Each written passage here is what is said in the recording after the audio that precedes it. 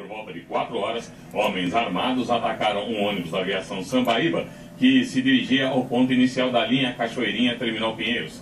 O motorista, que se identificou apenas pelo nome de Nelson e não pôde gravar a entrevista, disse que foi obrigado a atravessar o ônibus na pista e que os ladrões levaram as chaves. Ele e o cobrador saíram ilesos.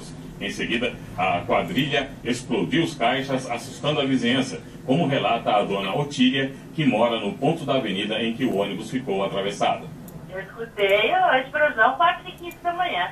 4 e 15 da manhã. E como é que foi viver aí essa experiência? Muito susto? Foi, foi bastante. Porque foi muito forte. E quantas explosões aconteceram? Três, três explosões. Depois teve uma saraivada de tiro, de tiro de arma pesada.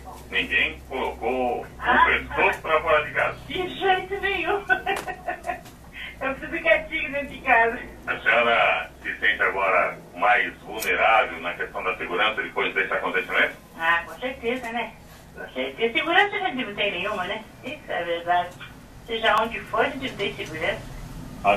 Continua Zona Norte de São Paulo, na Beni Rochete, fica ao lado do Horto Florestal. Lembrando que foram pelo menos oito marginais, eles renderam o motorista desse ônibus, fizeram ele colocar o ônibus dessa maneira, bloqueando a pista. E por causa desse, dessa ocorrência, sete linhas de ônibus estão sendo desviadas nesse momento, Gotina. O problema é que aqui é uma, são ruas de bairros, ruas pequenas e apertadas, então, uma dessas sete linhas está tendo dificuldade para trafegar, passar por causa dos carros que ficam estacionados nas vias, ou seja, dificuldade para quem pega ônibus nessa região da Zona Norte de São Paulo, Gotino. O problema, viu, Juan, é que os ônibus precisam desviar o caminho e essas ruas é, alternadas, aí, é, essas ruas que funcionam como alternativa, olha, não estão preparadas para receber os ônibus. Olha o motorista tentando passar nessa rua aí da região e não consegue, ó.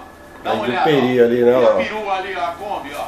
Parada na esquina. Não é do Heródoto, não, mas tá parada na esquina a Kombi ali, ó. Olha aí, a dificuldade para quem mora no Imirim, para quem mora no Jardim Piri, o pessoal da Zona Norte sofrendo hoje por conta dessa ação criminosa. Por eles, né, dos caixas eletrônicos. E aí a gente está vendo as imagens. É, é a Peri Ronchete aí, hein?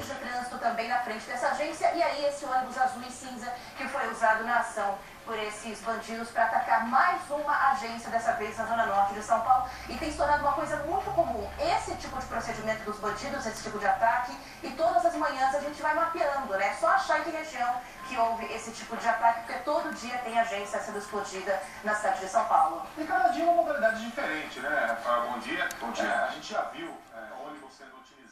A senhora se sente agora mais vulnerável na questão da segurança depois desse acontecimento? Ah, com certeza, né? Com certeza. Segurança a gente não tem nenhuma, né? Isso é verdade. Seja onde for, a gente tem segurança.